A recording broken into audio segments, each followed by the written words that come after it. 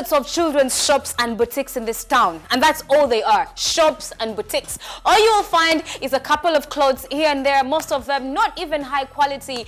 But when I introduce you to Gummy and Mipa, you will know what the difference between a shop and a store is. At Gummy and Mipa, we have a wide range of, first of all, children's outfits in all kinds. We have theme outfits, we have party outfits, we have children's books, we have children's toys, we have children's puzzles, we have everything including toys. All that you have ever imagined a child will need, you can find at Gummy and Mipa. We're located at Forest Mall in Lugogo. The shop number is 64 and we are on the second floor.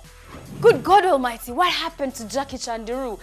I've seen her latest video. The song is Mukwano. I just happened to be passing by. I think some one of her managers or somebody dropped it at the at the Urban TV reception or Bukede TV reception and they had brought it to be played on our stations. But I looked at the song. First of all, oh, well, I looked at the video. The video is not bad. The concept looks like if it was well executed, it would have stood out. But Chandiru herself looks sick. She looks like somebody has denied her of not just food, but sex and everything that makes a woman glow. What happened to you? what really happened to you, man? You and I call you man because that's what she looked like lately. A man, huh? A man, chameleon, as if, as if, yeah, eh, ew. You know, the thing is that Chandiru is very talented. You know, undisputed. She's got the voice. Everything Jackie Chandiru has been producing for the past couple of days, or I mean, past couple of months, or even years, is just trash. From the days of Gold Digger, we've not seen anything of value ever since. We've not seen anything of quality. And Omukwano is just another plain, like, songless song something that Chandiru, I'm 100% sure would have done better.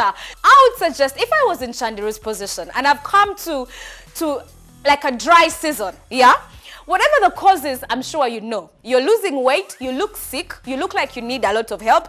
I think you need to work on yourself as an individual. Find out what really is turning you into this look, this, this Judith had look, this stabbed look, you know, and find Make music. You can make music. You can revive your career. But the more you try to prove to us that there's still Jackie Chandiru is still, she's still the Jackie Chandiru, the more you screw things up. So, what happened to you? genda ko mukyalo aba aba genda ke mukyalo and fix things good god or go to those tanzanian witch doctors you used to go to those days wewalinga ologa mukazi walaka You know, it was on this show that I told Brenda Nambi that if I don't say anything about her, nobody really cares about her. And no, believe me, that is true.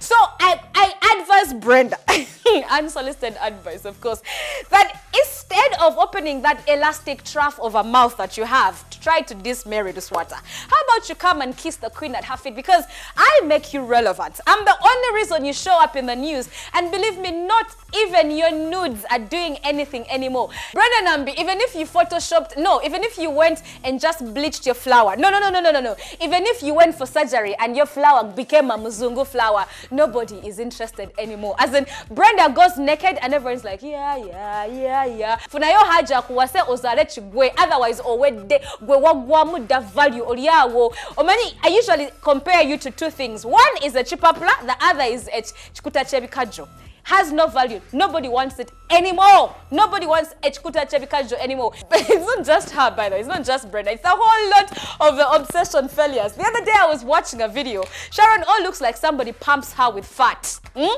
Every single day. And I hear she's done some some work on her boobs and her butt. Was that silicone injection, a fat injection or what? Anyway, that's none of my business. It's just that all these pretty girls seem to have a problem with their looks. Fabiola is forever trying to wear bums. You know God gave you a brain for some reason, yeah? And if you can expand it, it can actually do wonders for you. You don't always have to wear foundation and powder to always stand out. Fabiola, Please, the same applies to you and all the other pretty but non-bright women in this country. There's something you can do for yourself and it has nothing to do with your looks because, hey, looks fade. Now that Brenda has showed us everything, she's about to take a picture of her intestines or her uterus or something there within. You know, the funny thing is I've never done pencil in my hair. it's the first time ever. there was a pencil craze in this country and it just flew by me. So I'm trying this look out I just want to know what it looks like on TV. But even then, do I care? My name is Mary Luswata. Yes, you can pass by Gami and Mipa. They are proud sponsors of Scoop on Scoop, and we are proud to partner with them on this fantastic show. The Gossip Queen is out. See ya.